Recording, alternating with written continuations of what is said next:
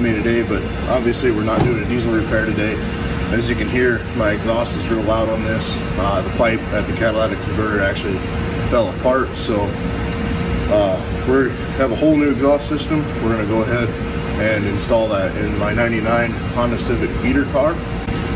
This is my vehicle I drive back and forth for beating around in the wintertime. Uh, I drive this full time in the summer just for work and whatever high mileage uh, bullshit I don't want to drive my truck with.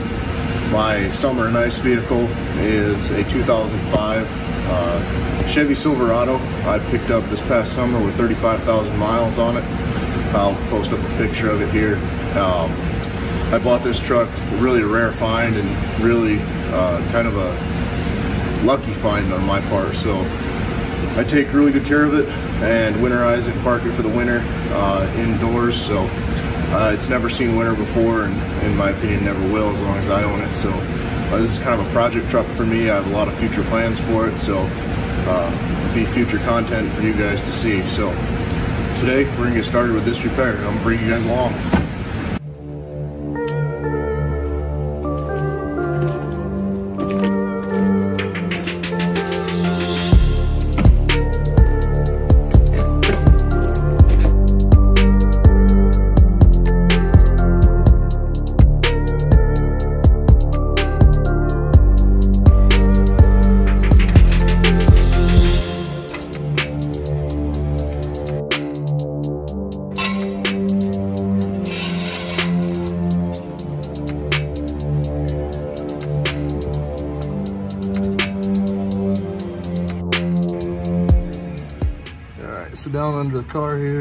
See that's the front pipe up there. That's the catalytic converter. Then you can see how this is all chicken shit welded together.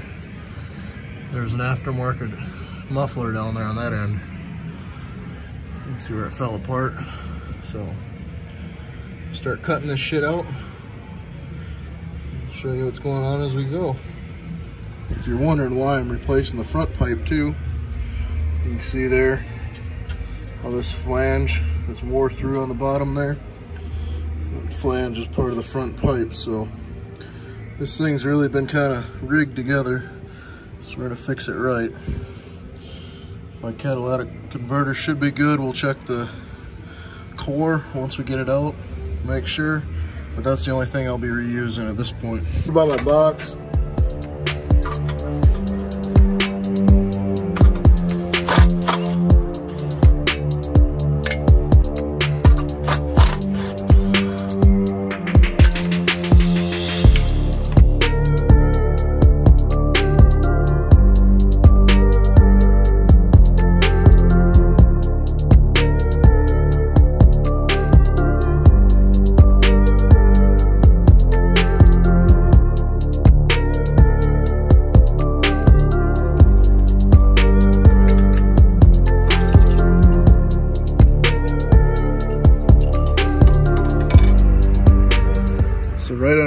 Front of the car here is the bottom of this front down pipe.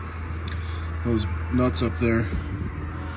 Uh, there's one, three of them there. But anyway, I uh, suspected I would have to cut them off, but I did throw a socket on this one, see if it'd come off, but it's just rounded off. So we're gonna go ahead use this long snap-on die grinder with that small cut-off wheel.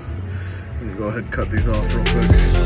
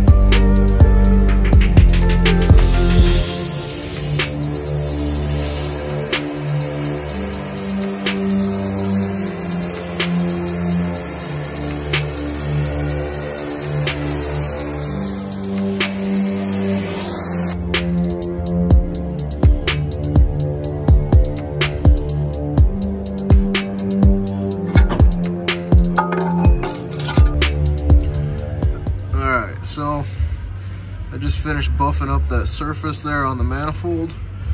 punch those bolts that I cut off out of the holes.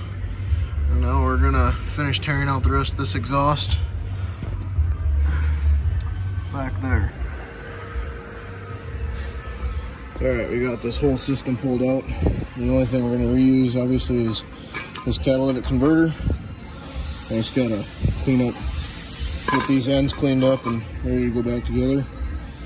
And then we're gonna start installing. We've been working on cleaning up this catalytic converter.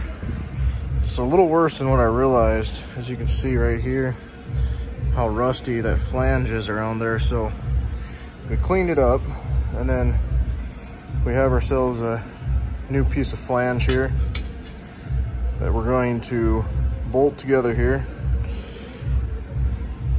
And then we're gonna weld on here around the outside and around the inside in here. The reason being is uh, this catalytic converter is more expensive than what's worth putting into it. And obviously, as we've seen before, it's still a good catalytic converter. So we're just gonna repair this flange and that should do what we need it to do.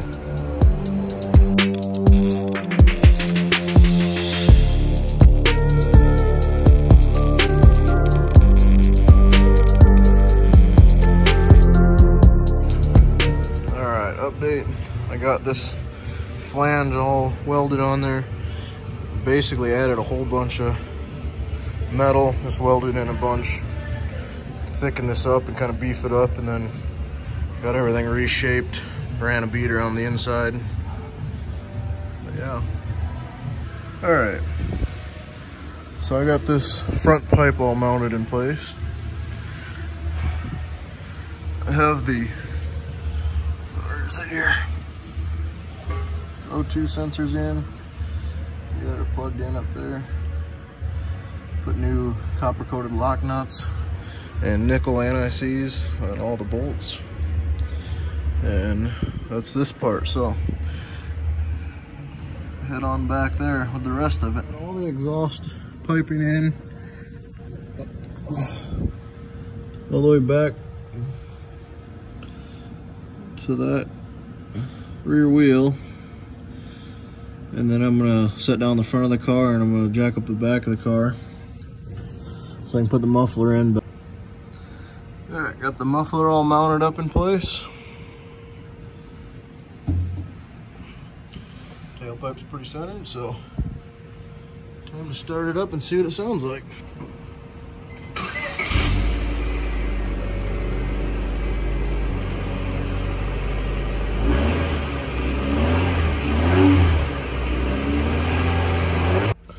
All right guys.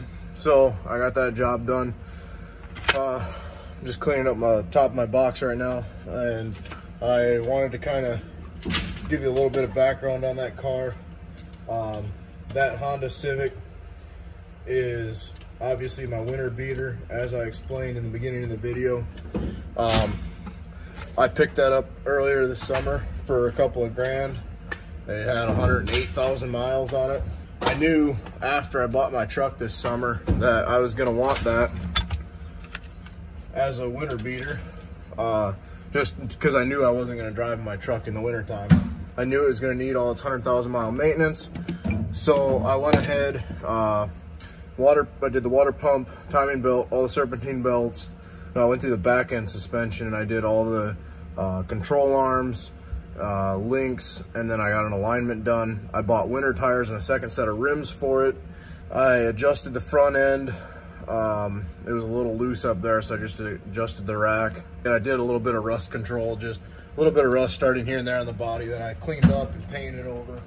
After I got that all done, I've been driving it. I've put about eight or 10,000 miles on the car. Uh, obviously the ex exhaust went out, but I was planning on doing that in the spring anyway, so it wasn't too big of a deal. Uh, just getting it done now and out of the way. Um, oh yeah, the other thing I did is I did brakes all the way around, drums, rotors, pads, the whole shebang. Uh, the only thing uh, I have left on my list to do is to do the park brake, um, the park brake cables in the spring. I had to cut both of them just because they froze up this winter. I did spark plugs and wires as well. Um, yeah, I think that was everything I did to it. I, ch well, I changed the transmission oil. Um, just because I didn't know when the last time that was done. It's a manual transmission, so just changed that gear lube. Um, yeah, I think that was everything I did to it as far as winter maintenance or as far as 100,000 mile maintenance. But, um, you know, there's a few small oil leaks, nothing too crazy. Um, uses a little bit of oil, uh, normal Honda Civic stuff. So not too worried about that. I really like Honda Civics and Toyota Corollas. Um, both are really good beater cars, but I have kind of a theory on beater cars. As far as I can see into the future, uh, at least my opinion at this point is that I will always drive a beater car in the wintertime, being that we live in the Rust Belt. And that is due to the fact that I see it as being such a waste of money to drive 20, 30, 40, 60, 80,000 dollar vehicles, whatever it may be, uh, in the wintertime. And what do you get out of a vehicle? You know, maybe five to seven years of it being clean. Um, and that's just, I, I, don't think no matter how much money I ever make or have, um, I'm ever going to be able to justify that in, in my mind of spending that kind of money on a vehicle and then just trashing it in five, five to seven years and getting a new one. Uh, to me, I'm pretty particular about the vehicles I like, and I really like vehicles. I like really nice vehicles, and I like building them and having having nice aftermarket stuff.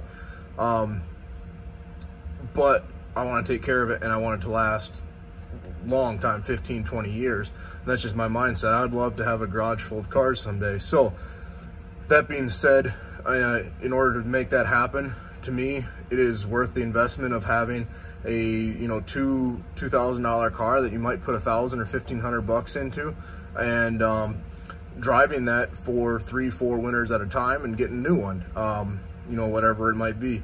So in this case i'd love to get another 100 150000 miles out of this car being that had just over 100000 when i bought it.